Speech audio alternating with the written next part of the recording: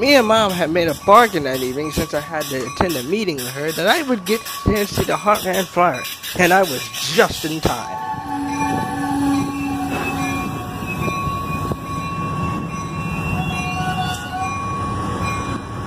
As quickly as it arrives, as quickly as it departs. I had a different P-42 DC on the back of it, which, though not significant now, will be significant later on.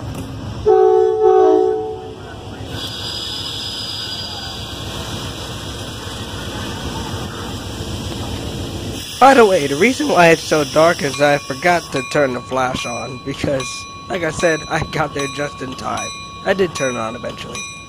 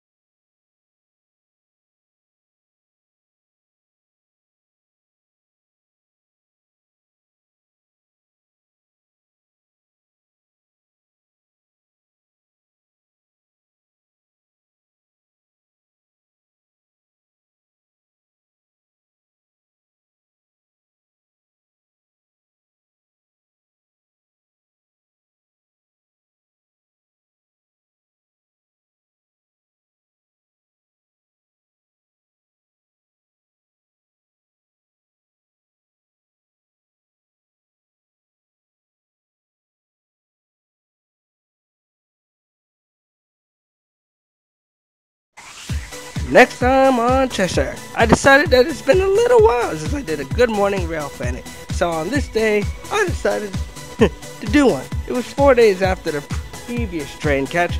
I think I got the usual stuff of the day, which was still pretty cool. Anyway, thank you guys so much for watching. I hope to see you for the next time Cheshire video.